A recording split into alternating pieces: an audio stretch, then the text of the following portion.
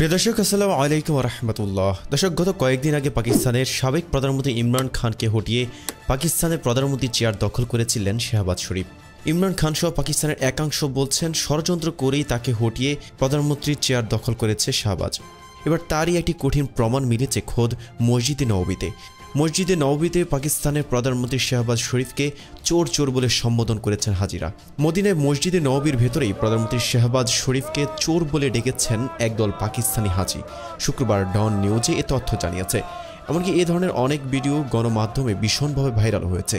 প্রধানমন্ত্রী হিসেবে শপথ নেওয়ার পর বৃহস্পতিবার প্রথমবারের মতো সৌদি আরব সফরে যান শেহবাজ শরীফ।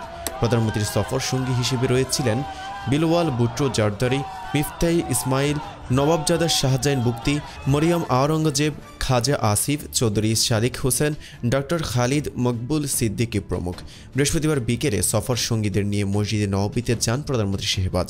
সামাজিক যোগাযোগ মাধ্যমে ছড়িয়ে পড়া ভিডিওগুলোতে দেখা গেছে, দলটি মসজিদে প্রবেশের পর সেখানে থাকা পাকিস্তানি হাজিরা তাদের লক্ষ্য করে চোর চোর স্লোগান দেওয়া শুরু করেন। আরেকটি ভিডিওতে দেখা যায়, নবাবজাদা শাহজাহান বুক্তি ও মরিয়মকে লক্ষ্য করে অশ্রাব্য গালিগালাজ করছে হাজিরা। এ সময় কয়েকজন তাদেরকে টানা হেঁচড়া করেছেন। পরে সৌদি নিরাপত্তা রক্ষীরা তাদের সরিয়ে নিয়ে যায়।